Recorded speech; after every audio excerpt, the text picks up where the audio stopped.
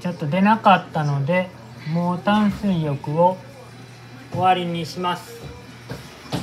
5月10日、えー、水曜日の朝8時半頃に撮影しています、えー、昨日、え、ちりめんやっこの淡水浴してみたんですけど寄生虫が、えー、23匹出たぐらいでほとんど出ませんでした。まあまだ淡水浴20分ぐらいした後の翌日なので、まあ、動きが、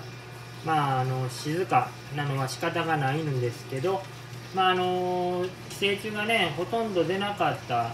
宮古天狗ハギにまあまああと20分ほどした、まあ、稲妻やっここの子はね20匹ほど出ましたがまあその後、まあ、宮古天狗ハギもまあまあかな。まあまあ動いていると思います。うん。あとはすみれやっこがやっぱりどうしてもねこの水槽だと今落ち着ける環境ではないのですみれやっこだけ、えー、こちらの水槽に移動させました、うん。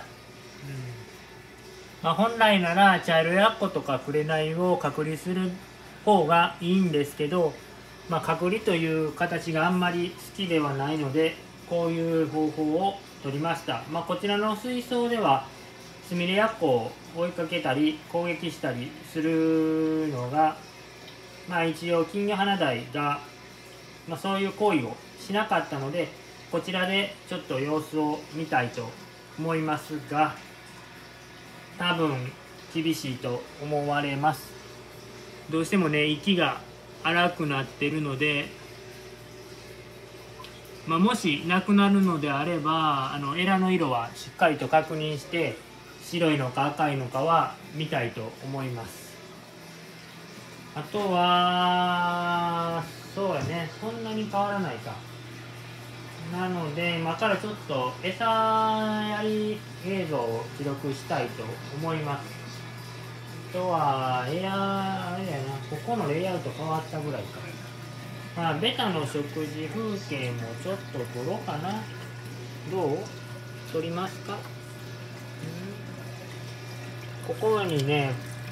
フォトスを刺してみたんだな。うんうん。刺してみて、まあ、なかなか、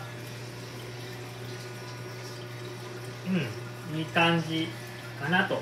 思っています。だから、餌やり映像を記録したいと思います。